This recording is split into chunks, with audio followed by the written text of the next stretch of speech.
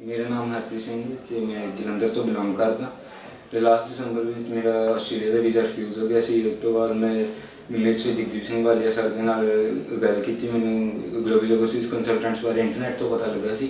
ਵੀ sir ਨੇ ਮੈਨੂੰ ਕਿਹਾ ਕਿ ਤੇਰਾ ਕੇਸ ਬਹੁਤ ਵਧੀਆ ਹੈ ਤੇ ਤੇਰੇ ਨਿਊਜ਼ੀਲੈਂਡ ਦਾ ਵੀਜ਼ਾ ਲੱਗ ਸਕਦਾ ਹੈ। ਦੈਨ ਮੈਂ ਆਪਣੇ ਸਾਰੇ ਡਾਕੂਮੈਂਟਸ ਸਕੈਨ ਕਰਕੇ online PG global overseas consultants then इन्होंने मेरा प्रोसेस स्टार्ट कर दिता तो एक मंथ के मेरा वीज़ा आ गया। तो मैंने बहुत वजिया गाइड किया स्टाफ बहुत वजिया एंड मैं सारे ये रिकमेंड करता कि तुम एक बार इतने ग्लोबीज आओ तो अपना केस डिस्कस करो।